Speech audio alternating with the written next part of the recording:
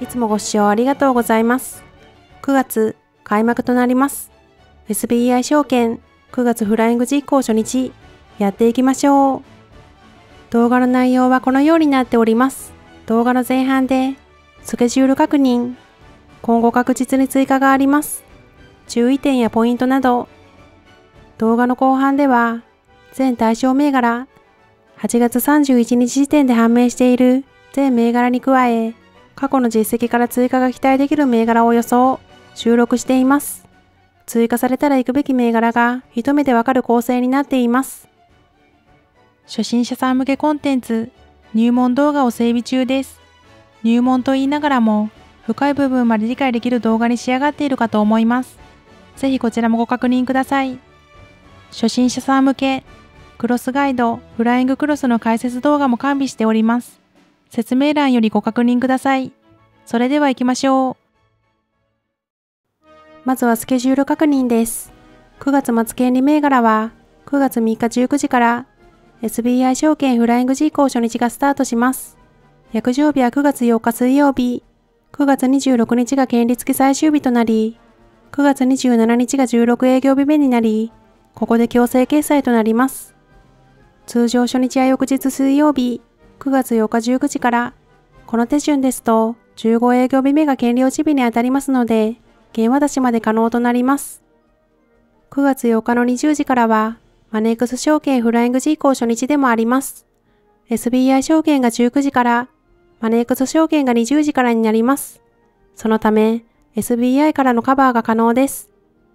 9月期のマネークスといえば、コロワイド中心でしょう。アトム、カッパクリエイト、コロワイド、この3銘柄が非常に多く用意されているのが特徴です。他には基礎ジアトリドールといった銘柄も用意されている可能性が高そうです。今年に関しては、いつもはアトムが中心になるところですが、利回りの観点からコロワイドが中心になりそうです。貸株日数は、フライング G 項が26日間、通常 G 項が23日間となっています。コストの段差が発生します。株数が多い銘柄は、あえて初日を待つといった選択も必要になってきそうです。とはいえレア銘柄に関しては、初日を待つ必要はなく、フライングから行くべきというのは変わりません。9月対象銘柄ですが、8月31日時点で確定している銘柄は65銘柄です。昨年実績を見ていきますと、149銘柄ありました。これは明らかに足りていません。さらに最近必ず対象になっている長期対象銘柄が見当たりません。この点を踏まえると、まず追加はあるものと考えていいでしょう。最終的には150銘柄から200銘柄近い対象銘柄になる可能性もありそうです。銘柄追加は月曜日の夜から火曜日、また水曜日以降も続く可能性があります。追加されたら行くべき銘柄というのも、あらかじめ知っておく必要があります。銘柄追加と9月に意識すべきことです。銘柄追加には一株だけで権利を取れる、例えば上新電機のような銘柄も多数含まれます。こういった銘柄はスルーして、狙いの銘柄を取っていく必要があります。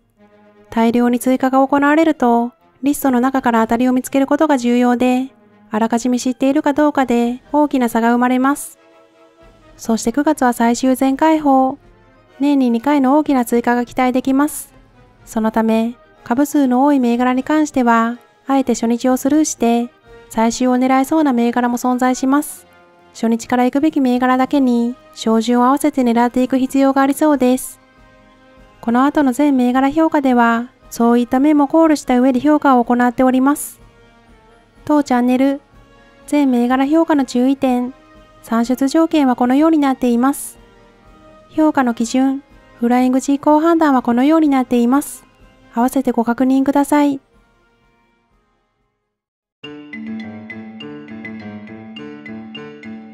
それでは見ていきましょう。対象確定銘柄すべて。対象未確定銘柄は、過去の実績をもとに予想しています。フライング実行と通常実行を並べて表示しています。コスト差は、通常を待った方が有利になるため、評価は、在庫の再追加期待も加味しております。まずは対象未確定銘柄。すべての銘柄が評価 A 以上の上位評価で、フライング評価は、すべて20丸の最高評価です。身の表記は、実績のある銘柄。追いの評価は、追加可能性があると予想する銘柄になります。特に、実績のある銘柄に注目したいところでしょう。ルネサンスや常磐鉱産、テンアライドなどは、3月も含めて、実績のある銘柄です。チムニーや AP ホールディングスは過去対象となったこともありますが、やや弱め。エステールや一家ホールディングスも実績のある銘柄です。ここからは対象確定銘柄になります。レアな銘柄も含まれてはいますが、ここから行くべき銘柄とは言えません。この後、対象が追加された際でも、実行価値は薄いでしょう。ここでは、名東産業や GSI クレオス。こういった銘柄が含まれます。とはいえ、現時点ではここから行くべきとまでは言えません。たとえ枯れたとしても、再追加の期待もできますし、現状では、様子見といったところでしょうか。ここからが狙っていくべき銘柄が増えてきます。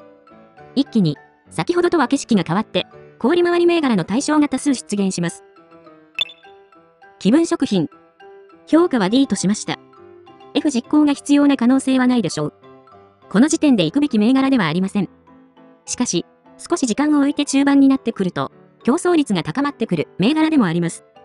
最終追加の期待もやや弱く、中盤では必要なら、優先的に狙っていく必要があるかもしれません。ANA ホールディングス。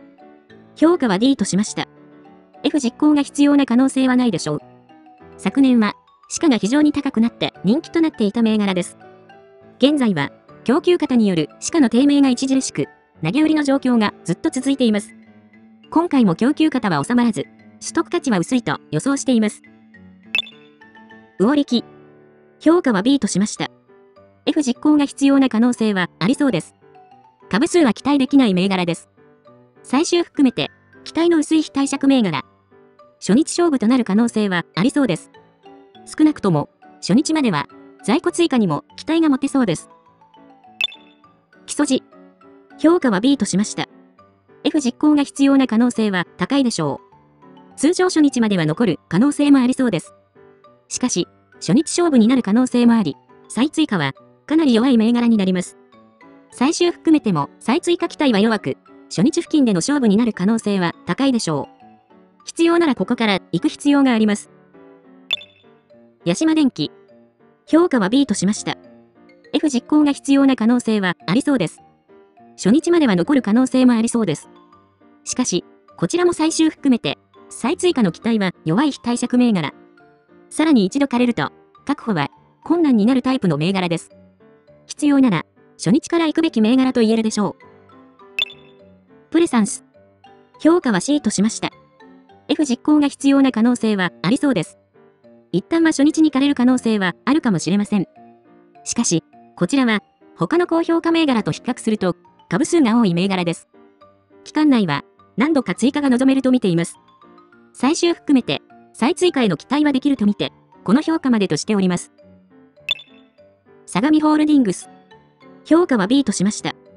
F 実行が必要な可能性は高く、間違いなく必要でしょう。久々の対象入りとなっています。利回りの点からそれほど高いわけではないというところで、評価としてハビーまでとしました。確実に初日勝負になると見ており、在庫の追加も序盤でのみ期待できると見ています。間違いなく最終勝負に向くような銘柄ではありません。初日から行くべき銘柄でしょう。トリドール。評価は C としました。F 実行は必要ないでしょう。全期間にわたって再追加には期待できそうです。最終も含めて在庫確保のチャンスは、初日以外にも多数あるはずです。初日勝負になる可能性はほとんどなく、以後の追加で拾っていける可能性が高い銘柄です。グルメキネア。評価は B としました。F 実行は確実に必要でしょう。利回りの点から評価派 B までとしました。とはいえ、圧倒的な人気を誇る外食系の銘柄です。序盤にだけチャンスが存在する銘柄で、利回り以上に人気があります。最終含めて期間内でも、再追加の期待はかなり弱く、間違いなく初日勝負になるでしょう。朝日放送。評価は B としました。F 実行は必要な可能性もありそうです。手軽なクオカード系の銘柄というところで、他が枯れた時には消去法で取られそうな銘柄です。月曜日や火曜日の対象銘柄次第では、枯れてくる可能性もあると見ています。同格のクオカード系銘柄が追加された場合、優先度は下がるでしょう。再追加としても期待できないわけではありません。東亜 DKK。評価は A としました。F 実行は必要な可能性が高いでしょう。利回りとしては目立たないクオカード系銘柄ですが、こちらも他の対象銘柄によっては最優先で取られる可能性があります。他の銘柄よりは潜在的な株数が少なく、優先度は高く、初日勝負になりそうです。再追加の期待も薄いでしょう。山屋。評価は A としました。F 実行は確実に必要でしょう。こちらも2年ぶりの対象追加となりました。レア銘柄に当たる銘柄であり、間違いなく初日勝負になります。チャンスとしても序盤にしかない可能性が高く、最終を含めて再追加の可能性は極めて低いでしょう。パリミキ。評価は C としました。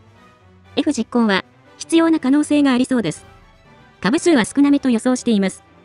とはいえ、内容的にはここから行くような銘柄には思えません。見かけの利回りは高いですが、そこまでの優先度ではないでしょう。東方システムサイエンス。評価は S としました。F 実行は確実に必要でしょう。利回りの高いクオカード銘柄で殺到することが予想されます。間違いなく初日勝負となりそうで、再追加も弱いと見ています。昨年は、最終にも再追加がありましたが、株数としては極めて少なく、狙っていくのは難しいでしょう。初日から行くべき銘柄です。セントラルスポーツ。評価は S としました。F 実行は確実に必要でしょう。間違いなく初日勝負となる銘柄です。再追加は序盤にのみ期待できると見ております。こちらも相当厳しい銘柄の代表格で、最終を含めて追加期待は薄く、序盤のみチャンスがある銘柄です。カッパクリエイト。評価は S としました。F 実行は必要な可能性が高いでしょう。初日でも追加の可能性はありそうです。初日まで残ってくる可能性もあります。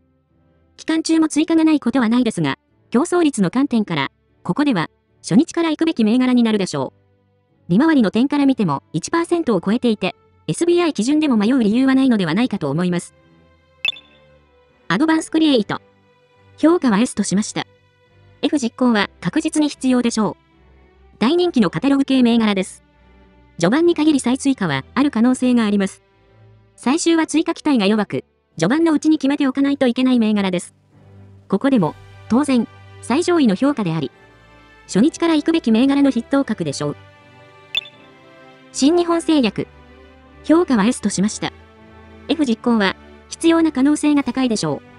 追加自体は序盤から中盤にかけて期待はできます。しかし、利回りとしては極めて高いレベルであり、引き伸ばすメリットはほぼないでしょう。初日から行くべき銘柄で、初日であればそこまで競争率は上がらないかもしれません。東京一番フーズ。評価は S としました。F 実行は確実に必要でしょう。初めから在庫がありません。ここはいつも対象にはなるのですが、再追加がほとんどない銘柄です。つまり、飾りの可能性がありそう。あまり期待はできません。三重交通。評価は S としました。F 実行は必要な可能性がありそうです。初日までは残る可能性もありそうです。再追加は中盤にかけて期待できます。とはいえ、この利回りですから、ここでは最上位と評価しました。通常初日まで残るようなら、通常初日を待っての実行もいいでしょう。通常初日でも、再追加は期待できそうに思います。神戸電鉄。評価は S としました。F 実行は確実に必要でしょう。こちらも東京一番フーズと同様に、ダミー銘柄の可能性がありそうです。まず、再追加の期待も持てず、厳しい銘柄になりそうです。コロワイド。評価は S としました。F 実行は確実に必要でしょう。今年は、増資の影響で、非常に高い利回りになっています。